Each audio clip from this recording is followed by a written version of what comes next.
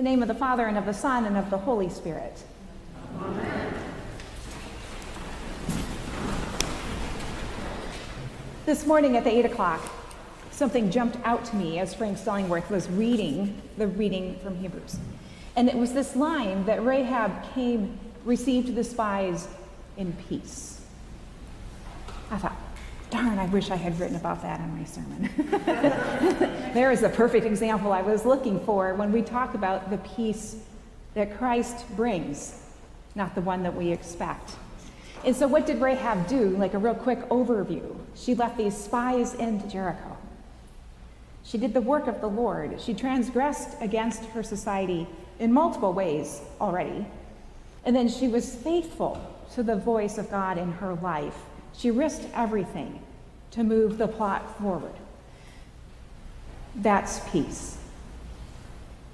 I came to bring fire to the earth, and how I wish it were already kindled. Do you think that I've come to bring peace to the earth? So, what is he talking about? I already gave you a little bit of a hint. But have you ever said something and had everyone around you mistake your tone? And then if you're like, and then if you're like me, you try to fix it, it just gets worse. and you just move on, right? Um, the same thing happens when we read scripture. We don't always catch the tone of what is being said. We can mistake what is descriptive for something that is prescriptive. In other words, when read closely, is Jesus prescribing division and strife, i.e., actively planning on bringing it? Like a doctor writing out the note, this is what you need to do, this is what's going to happen?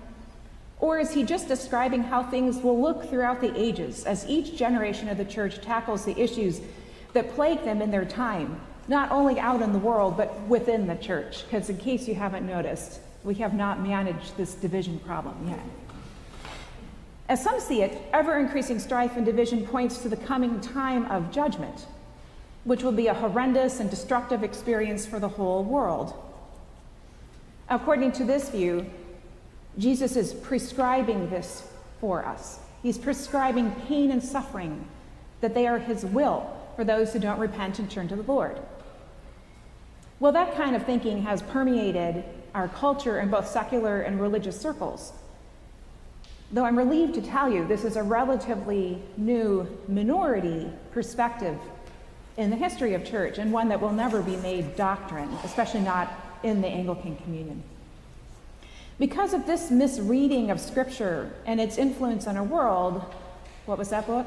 Um, oh, that series that was so popular, where all the people got sucked up in the rapture, Left Behind, right? best time, you know, bestseller on the New York book list over and over again.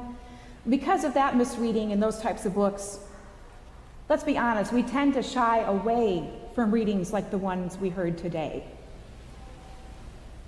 But when we just focus on the parts of Scripture that make us feel good, we're less able to develop a mature understanding of an appreciation for God's plan of salvation. So, what I hope to convey today is that this reading we had is descriptive of what happens when people begin to live their lives according to the gospel. Because when we draw closer to Jesus, we can no longer tolerate living comfortably while our neighbors suffer. Being a follower of Jesus does not allow for that, and speaking up for the poor and the marginalized is often disruptive. But it's not creating a new division. It's just exposing the one that's already there. As a peace of Christ, it's neither like marshmallow candy, and it is not this coming reign of terror. We don't need to be afraid of one word of Scripture. The peace of Christ is active, and it can be discomforting to those who would rather just go with the flow and keep things the way they were.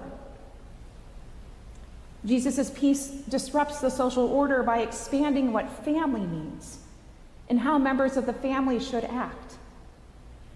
For instance, when Mary, the mother of Jesus, and, her, and his brothers came to see him, and the crowds are so large that they're just kind of off in the distance, and Jesus says, My mother and brothers are those who hear the word of God and do it. Now we can hear that with like Jesus snark. you know, they're so late to the party. They're not my mother and brother anymore. But that goes against everything else we know about him. What he's really saying is all these people are my mother and brother. If they hear the word and they do it, it's just simple, right? So he's not saying they're no longer part of the family. It's the family just got bigger. Elsewhere in Luke, we hear the story of the vineyard workers. It does not matter if they arrived at the close of day or dawn, the wage is the same. Latecomers are in, whether we like it or not. And that, if we are honest with ourselves, it rankles just a little bit. Same with Martha and Mary and the prodigal son. All of these stories show a reordering of what it means to be human and what it means to be generous.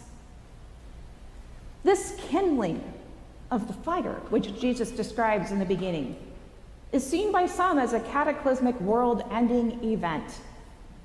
God's way of confirming our biases against those who are seen as less than and not part of the family of God.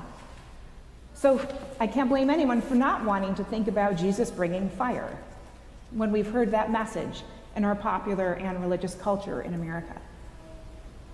Well, he has come to bring fire. He says so. But not to destroy as has been portrayed by some, but to purify and make all things new. What happened at Pentecost? The fire of the Holy Spirit united individuals from every people, language, and nation and gave birth to the church. It didn't burn it all down. And so in the reading, Jesus finishes with their willingness to predict the weather and inability to see the truth of the present moment. Now, I read that right there, it's super easy to predict the weather. If you see a cloud here, it's what this means. If you see one there, this is what this means. So they didn't need like super intense weather solving skills to predict the weather. All they're really doing is stating the obvious, right? And we can be that way too. We can attend to weather. We can attend to small talk, things that don't matter, TikTok, whatever. But what we struggle with is attending to Jesus' teachings that he is the way, the truth, and the life. Now, Luke's audience was the early church. The temple had been destroyed. Followers of Christ were being persecuted. Families were becoming divided as certain family members went with the Jesus crowd and certain family members didn't. They were dealing with actual division in the household that way. But what we do have in common with them is that the world just didn't make much sense. However, as Jesus says many times in the New Testament, there is no need to fret about the end times. Just no need to fret. And how does he say that? Well, it'll be like the thief who comes in. It'll be like this. He gives all these examples that contradict each other. He doesn't say it will be this. It's his Jesus way of saying, just quit worrying about these things that are not in your control. But get out there and do the things that are. It is the present moment that concerns us. God has everything taken care of. And so we ask ourselves are we preparing the soil of others so that the gospel seed may grow?